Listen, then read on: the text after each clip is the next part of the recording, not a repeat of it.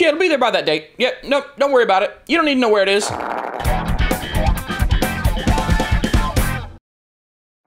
You know, a lot of people seem to think that it's the big things in life that bring you to an early demise. Stress of your job, that kind of thing. People just on top of you all the time.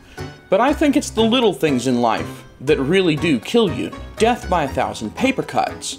The stress of all the tiny things snowballing, adding up until they're a gigantic white spherical monolith rolling down the hill, barreling at you at high speed with no mercy.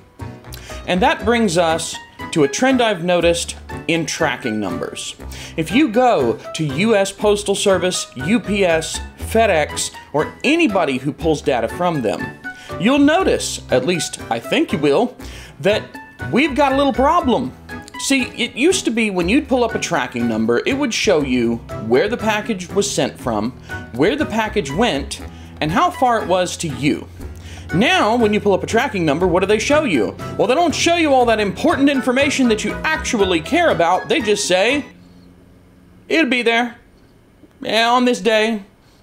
And then you have to click between one and four things to get the details, to find out, oh, it's in this city, or oh, that package you haven't received for a week has been bouncing between two post offices in Florida that for some reason keeps sending the package to each other instead of you. What? Why? I don't understand this trend. Why is it that when I look up a shipping number, I have to get a little tiny screen that just says, oh, here, here's the shipping number you typed in or you clicked through, and, and here's the method it was shipped by, and it'll be there by like Wednesday, May 18th, or whatever. That might not, not even be a real day this year. I have no idea.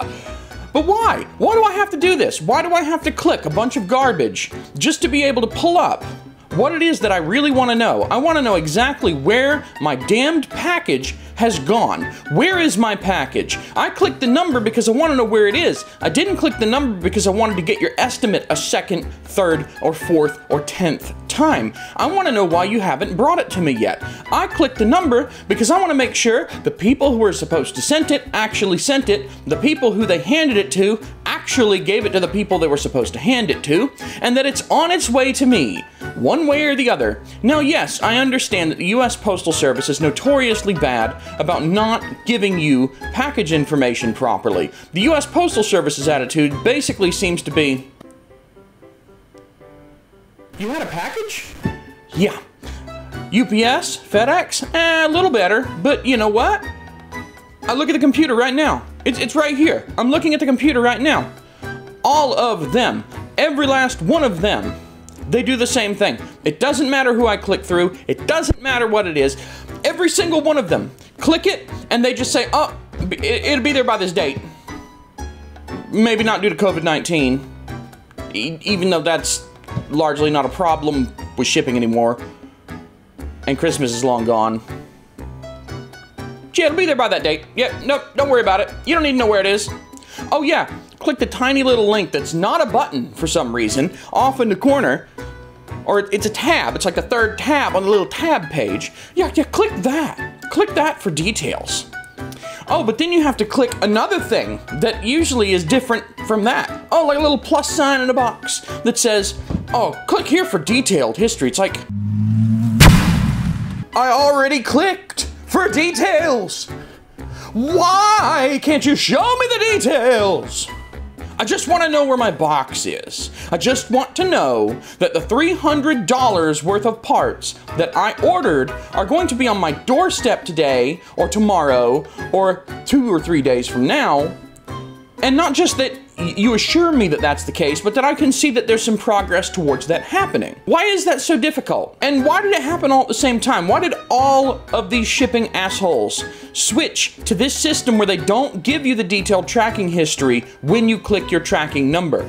Why is it that I have to go through several steps to see the one thing that I wanted to see from my tracking number in the first place?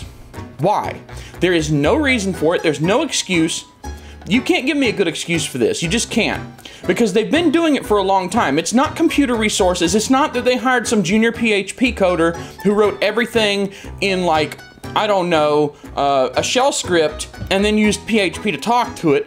Th- that's not what happened because they've been doing this for years with no problem. And all of a sudden, like a year ago, maybe less, I can't get detailed shipping information for any of my frickin' tracking numbers.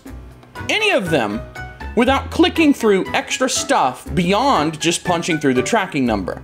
I want to know where it is. I don't want to know that you think it's going to be here at a certain time. And that's the end of the story. Rant over. Jody Bruchon out. Like, comment, subscribe. Go down, go to my website down the links at the bottom, and then give me the money. Give me all the money if you agree. If you agree, then you have to give me money for my garbage opinions. Thank you. Take care. Bye bye. And um. Do you want details on the tracking history? F you.